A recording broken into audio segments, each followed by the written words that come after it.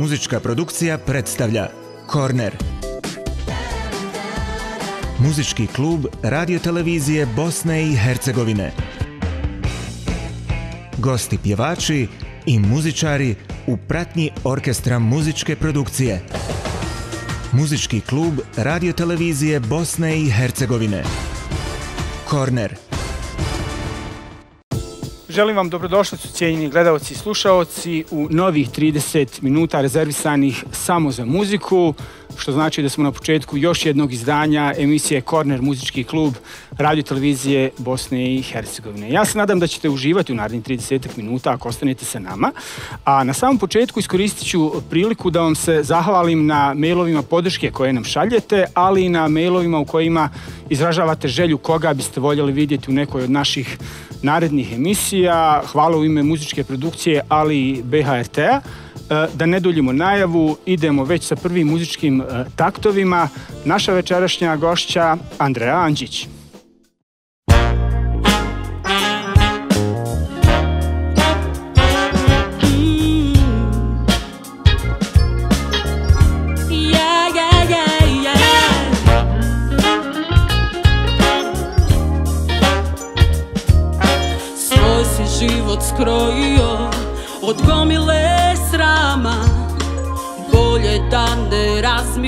Razmišljam jer želim ostat dama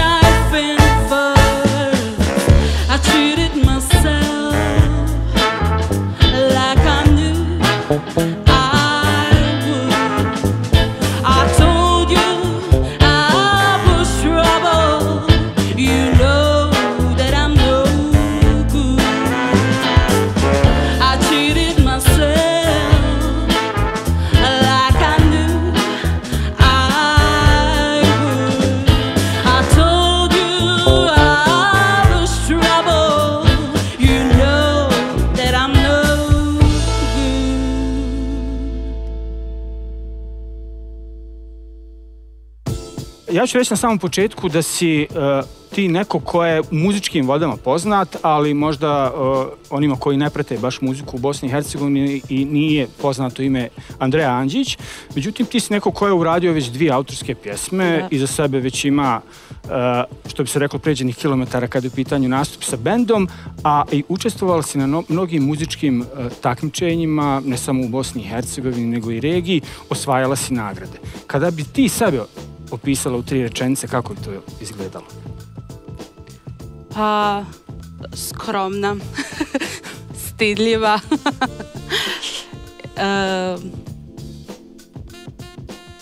I osoba koja obožava glazbu. Kako je krenula cijela ta muzička priča? Evo ja ću reći da si u muzici od najranijih dana. Imala si bend, međutim u jednom trenutku se odlučila da prekineš s tom pričom, da se okreneš solo karijeri i nastao je u stvari tvoj prvi singl Dostojanstven. Koliko ti je on značio i koliko ti je on u stvari otvorio neka vrata u svijetu muzike? Pa, dostojanstveno je prva pjesma i nekako to je bilo samo neka odskočna daska, ajmo reći. E, dobro je prošla kod publike, mislim ja sam zadovoljna, ali ova druga pjesma, to je bilo to. Da, e, nakon e, pjesme Dostojanstveno uradila si pjesmu Ljubav u troje Da. i čini mi se da je ona u stvari nekako i udarila taj neki muzički pečat kada je u pitanju, pa hajmo reći početak tvoje karijere. Da, tako je. E, kad sam snimila i objavila, e, mnoga vrata su mi se otvorila. E, mislim da je tek sada ovo početak moje karijere.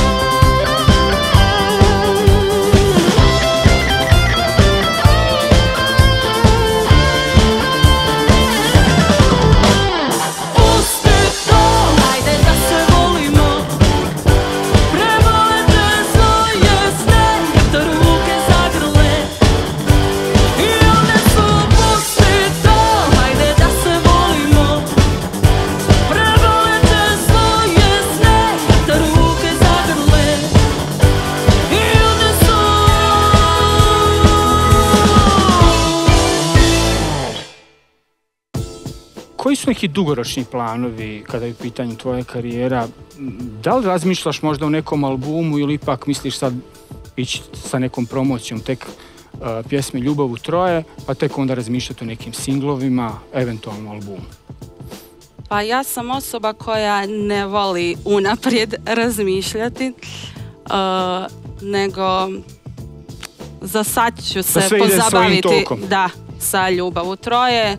Uskoro će biti treća pjesma. A album, ne znam, ja se nadam za nekoliko godina dok ja još sazrijem kao pjevač. Uh, Evo ja ću i pomenuti da je pjesma Ljubav u troje pojavila se u našoj emisiji BHRT Top 15.